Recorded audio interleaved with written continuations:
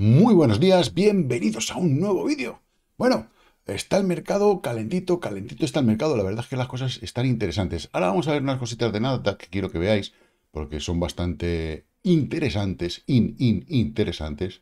Y plaf. Bueno, Estados Unidos venderá 117 millones de Bitcoin incautados al traficante de drogas Silk Road. Bueno, pues plantean vender, pues eso, ya empiezan a, ser precios en los que sacan un buen pellizquito y a ver si sacan a la venta todos esos Bitcoin y terminan de, oye, de, que tengamos esa espada ahí de Damocles continuamente, a ver cuándo lo venden, a ver cuándo lo venden, pues que lo vendan de una puta vez y ya está aprovechando, bueno, pues eh, ese toque que hemos dado a una parte del mercado. Em, dicho por otra parte, el vencimiento que tenemos hoy, 3.400 millones en opciones de Bitcoin, unas ya se han vendido, recuerdo que empiezan a venderse a las 8 UTC, y eh, esta tarde pues terminarán de, vender el resto con, con Wall Street y, un poquito de, Chicago, Chicago de día. Bien, por otra parte, ya estas noticias, canto general, 11 minas de Bitcoin que podrían no ser rentables, rentables, rentables después del halving. Esta es la historia de siempre, es decir, todos los ciclos, todas las previas a un halving, todo, siempre están con estas especulaciones. Evidentemente habrá cuanto más grande sea esa minera, si está bien gestionada, ¿vale? Podrían eh, empezar a, algún momento tener alguna dificultad, y no dificultad, realmente es, una cuestión de tiempo. En el momento que Bitcoin vuelve a, su precio, ¿vale? Eh, van al alza. Es que es una auténtica locura. Yo de verdad que eh, hacen mal las cuentas, lo hacen mal a posta, y es simplemente para meterle miedo a la gente y que venda. Ya está, punto. Es que cada ciclo es exactamente igual, pasa lo mismo pasa lo mismo. Entonces, bueno, eh, ¿por qué os lo digo? Porque sé que hay gente nueva, está detrás de las pantallas y, bueno, pues eh, los que ya lleváis un tiempo entiendo que estas cosas ya sabéis de qué van, aunque hay algunos que no se enteran, pero bueno, esto es una cuestión de ya de la cabeza que tenga cada uno. Pero eh, que todas estas noticias de miedo, de cuidado, de no sé qué, va, son muy, muy típicas previo al halving. Después, cuando esto empieza a volar, ¿vale? pues todos estos vuelven a ir de listos y se suben al... Bueno, las que son periodistas, se suben al carro, ¿no? Y pasa lo que pasa. En fin, simplemente para que tengáis en cuenta que no tengáis en cuenta muchas de estas guarrerías que nos sueltan. Bien, dicho esto, el mercado, volvemos al NDX, Nasdaq. Bueno, ¿por qué? Pues porque quiero que veáis un comportamiento que es algo muy típico. ¿Veis? Vamos a máximo histórico, plaf del Nasdaq, ¿vale? llegamos al máximo histórico y ¿qué hicimos? Testeamos, caímos, pasamos, falsa ruptura, nos fuimos abajo. ¿A dónde? Pues casi a una zona prácticamente de, soporte, anteriormente había otro. Retesteamos y ¡pum! Máximo histérico para arriba. Em, ostras, ostras, eh, esto es lo que normalmente hace cualquier valor. Ahora, quiero que veáis algo que es interesante. Bueno, vamos a verlo mejor. Ah, yo creo que en esta gráfica, que la tengo más limpia, eh, quiero que veáis algo, ¿vale? Mirad. Máximo histórico de Bitcoin. ¡Pum! Testeo, testeo y rompe. ¿Vale? Ahora, ¿qué no hizo? Que sí que probablemente va a hacer Nasdaq. Y ya ves, le está marcando una zona roja, la que posiblemente tenga un retroceso a la zona para hacer pullback.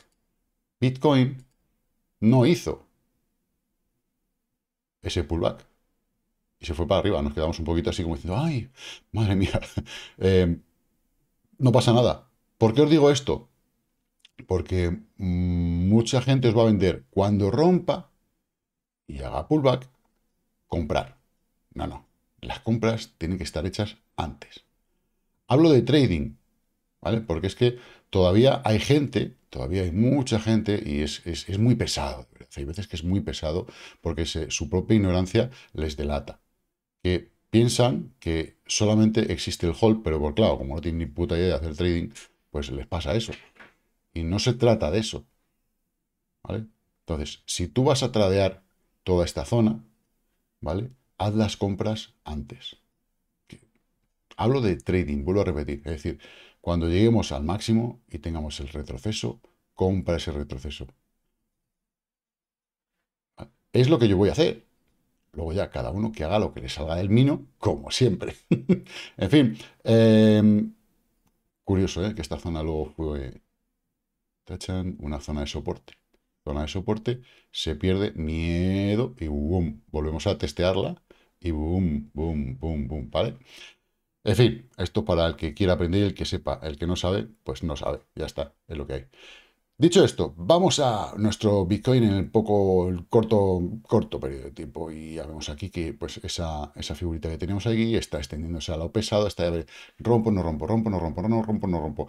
Nos están dejando en un viernes un poquito huérfano. Vamos a ver cómo terminan las opciones, ¿vale? ¿Qué pasa? Que todos esos contratos de opciones que, vende, que, vencen, ¿vale? Que estábamos viendo antes eh, por aquí, eh, el precio, un precio muy bueno sería la zona de 40.000. Entonces, ¿qué pasa? Que lo están manteniendo más o menos en esa zona, por encima de todo lo que esté por encima de 40.000, le sacan pasta, las venden y la cuestión es, ¿qué van a comprar?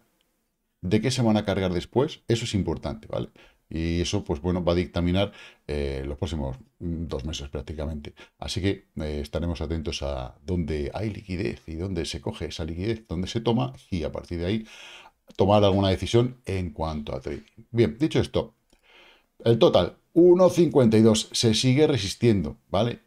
Igual que esta zona está aquí tonteando, pues el que manda, el jefe, está aquí tonteando. Es normal. Eso es, es, el reflejo inmediato de lo que hace Bitcoin, aunque bueno, hay que sumarle algunas altcoins que también van poco a poco rascando, rascando, rascando el mercado y se están convirtiendo cada vez más importantes. La dominancia de Bitcoin, ayer subió un poquito, hoy está ahí, bueno, un poquito plana, pero eh, verde. Vamos a ver cómo, cómo, va. Está en una zona de resistencia, no, no falta más que ver este pivote.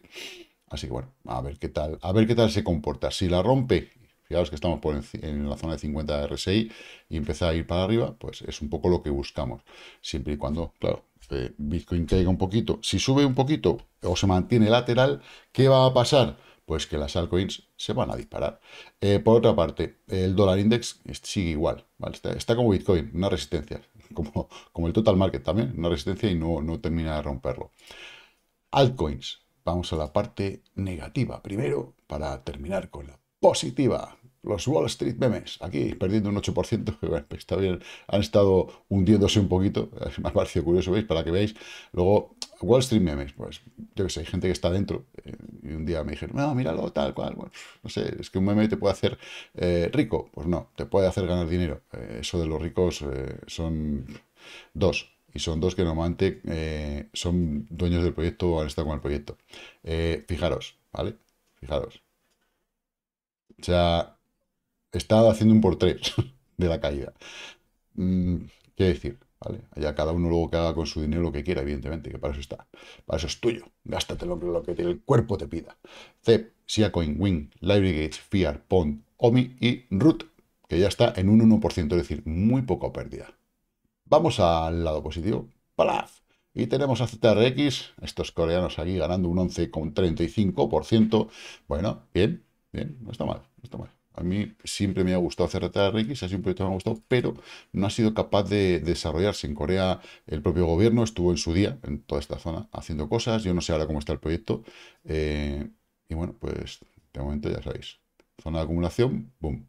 Vuelve a caer a la misma zona. Zona de acumulación, boom. Muy, muy, muy, muy coreano. muy coreano. ¿Vale? ENS, CFX y Stork 697. ¿Vale? Igual, de Stork, zona de soporte bastante clara, con varios toques. Viene, toca y va para arriba. Vamos a ver si sigue así. Si el mercado le deja y se lo permite, Cartesis en Bonk, 6% rebotando. Igual, Memecoin, bueno, pues ahí está. Hay gente, mucha gente apoyando la meme, pues a lo mejor resulta que con 100 pavos en esta meme, pues te hace un por 10 y ha sacado 1000. Bueno, ahora, ¿yo metería 1000? No. Ah, por eso no te haces rico. Es que yo no hago esto para hacerme rico. Es que, eh, de verdad, hay gente que tiene unos pájaros en la cabeza, o sea, no llegas a fin de mes y hablas de hacerte rico. En fin, eh, no voy a hablar mucho más del tema, creo que sobran, sobra el resto de comentarios. Eh, bueno, pues ahí está. Shai llegado a zonas de empezar a, empezar a hacer compras, para mí, a mi, a mi modo de ver, ¿por qué? Porque fijaros cómo a medida que ha ido cayendo, el volumen también ha ido cayendo, es decir, el desinterés por la venta, ¿vale? No hay interés ninguno por vender. Si no, estos volúmenes no estarían cayendo tanto, hubieran llegado a un nivel y se mantendrían, subirían, tal, pero no caerían hasta estos límites. Entonces, bueno, eh, no hay interés en la venta, está claro, en que baje el precio. ¿Puede bajar más? Claro que sí, por supuesto. Y puede ser a cero. Pero ese es el riesgo que, que adquirimos cuando compramos un valor, sea el que sea. NIAR. Muy buena cosa también. Está otra vez retesteo zona, vuelve a retestearla. Eh, bueno, pues tenemos claro que fue un apoyo, un apoyo, mucha resistencia, que mandó al infierno, se pasó, se retesteó. Y bueno, pues quizás sea una falsa ruptura y siga al alza. Vamos a ver cómo va. Zona de compra muy buena y zona de compra excelente, evidentemente, pero bueno, yo creo que si ahora ya indica fuerza y se apoya por encima, pues podría ir a otra vez a, esos máximos. ¿Qué porcentaje tenemos a esos máximos? ¡Tachan! Un 60%. Es poco, yo sé que lo ganáis todos los días. Hay más de uno que lo gana, vamos, cada 5 minutos prácticamente. Pero, no sé, ahí veo algo, veo algo. 5.31 eh, Río, bastante bien. Ahí sigue manteniendo, está haciendo una zona de acumulación. ¿Qué pasa con una zona de acumulación? Ruptura de la zona de acumulación. En algún momento, igual que en toda esta zona, si pusiéramos una... Un, donde hizo este doble suelo, ¿vale? Pusiéramos ahí una, una línea, tenemos una zona de acumulación intermedia, la pierde, una falsa salida, un soporte importante y ¡boom! Rebote. Aquí posiblemente a una zona de acumulación venga un soporte importante, histórico, y rebote. Eso es un poco lo que creo que puede hacer, ¿vale? Eh, Rune, muy bien, igual. De momento, a ver si ahora empieza a generar, empieza a ir a tocar, a buscar otra vez esa zona de resistencia de ese canal inicial después de toda esta pedazo de subida. Bueno, en realidad la subida viene desde el principio, ¿no? Pero bueno, ahí vamos. Firo, OKB, Ordi. Ordi, los Ordis, está ahí a tope, ¿eh? Claro, es igual. Un recorte que ha tenido muy bueno, posible zona de compra, por supuesto, se puede ir un poquito más abajo, 45, o se puede ir a cero, que sí, que se puede ir a cero, que ya lo sé, cash, que refresca más, venga, igual, justo, zona de soporte, ¿vale? Venga, vamos a ampliarlo para verlo, tacatás. Este es uno de los dos experimentos que hay en la cartera de altcoins, y bueno, de momento se está portando muy bien, mm, quizás mejor de lo esperado, pero bueno, bien. Eh, Bake, Hero, HNT, Chiliz, Chiliz, que también está, bueno, pues eh, hizo la ruptura y ahí sí, venga, para, para arriba, potente. Bueno, con ganas, a ver si consigue eh, ir al siguiente pivote, a los 0.14. Eh, Opu, HT, los Presearch ahí ganando un poquito, RLC, Riff, One, One, con mi primo, hace tiempo que no había One. Eh, bueno, fijaos, lo que es una, esta, esta zona de resistencia, como ha sido, a ver, aquí, después, una zona de soporte. De momento, intermedio. Ya veremos a ver cómo sigue reaccionando. Eh, render, buena cosa también, me gusta. Las subidas que ha estado haciendo son muy buenas, se le está consolidando la última. Eh, de momento ya he probado una vez esa zona de soporte, una y dos veces. Vamos a ver si hace una tercera. Y a ver qué le permite hacer el mercado, sobre todo cómo se comporte Bitcoin. Ya sabéis que es el que manda el jefe, el que va a dirigir a todas. Un anillo para gobernarlos a todos, pues eso, ahí lo tenemos. Eh, Rose, mucha gente en Rose, 3% al alza, bien, ¿vale? Cayó a esa zona de soporte y de momento parece que quiere rebotar. Parece que quiere rebotar. ¿Qué necesitamos? Pues bastante sencillo. Esta línea de diario. ¿Vale? Venir, toque, toque, toque, pues venir y romperla. Posiblemente se apoyen mejor, más claramente en la zona antes de romperla. Pero es Rose. Ya sabéis que muchas veces te tiene desesperado, desesperado, desesperado, desesperado. Te desespera del todo y hace boom. Eso es lo que tiene. ¿Veis? Boom, boom, pues que siga el boom boom. Eh, Tita, 277. Alguien me preguntó ayer por Tita. Oye, ¿cómo ves Tita? Pues, ¿cómo la voy a ver si la tengo en cartera? ¿Cómo la voy a ver? ¿Cómo queréis que la veo? Ahora, hace unos días ya hicimos un análisis. Para mí, zona de compra muy buena en este retroceso va a ser entre los 0,8 y 0,85. ¿Puede caer más? Por supuesto. Ese euro que lo aproveche otro. Igual que cuando sube más, ese euro que lo gane otro. ¿Sí? Para mí el objetivo de Tita está arribita, ¿vale? La zona de 20-21. Así que bueno, ya veremos a ver si llega, si no llega, si nos quedamos a medias, pero que aunque me quede a medias y bueno, si venga a la zona de cuatro y medio, eh, ya os digo que no voy a llorar porque solamente hago un por cuatro, ¿eh? o sea, tampoco eh, no le voy a poner pegas, ¿vale? Algunos sí, yo sé que el 400% para más de uno es poco, pero yo no. Bueno, ahí tenemos a Bitcoin en riguroso directo en vela de 4 horas, rompiendo la resistencia, yendo donde marcaba el camino. Pon, yo tengo una operación de futures que vamos a verla por aquí. Tachan, vamos a iniciar aquí la sesión, que la tengo apagada. Venga, y vamos a ir a Madre mía. A ver, no, venga, no, yo quiero ir aquí.